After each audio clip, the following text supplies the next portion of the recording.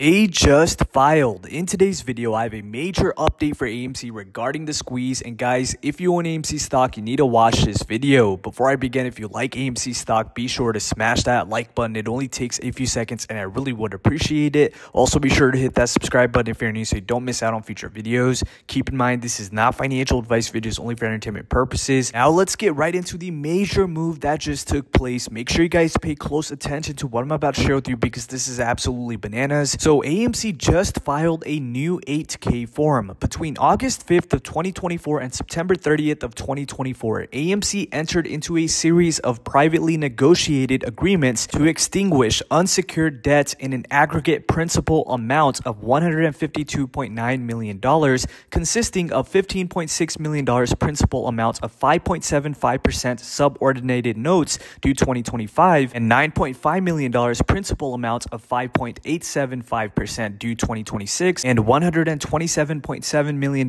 due on 2026, which the company repurchased and or exchanged for aggregate consideration of 11 million shares of the company's Class A common stock par value 0.01 cents per share and $103 million of cash excluding accrued interest. Furthermore, it states the company may engage in similar transactions in the future but is under no obligation to do so. So basically, guys, AMC has reduced its debt load by almost $153 million. That is massive. AMC has approximately $4.33 billion of long term debt as of June 30th. So the fact that it has reduced its debt by such a massive amount means the company is doing better than a lot of the negativity we are seeing from Wall Street. Now, if they continue to reduce that debt and improve revenue going forward, my prediction is AMC does have a potential chance to return to the double digits digits.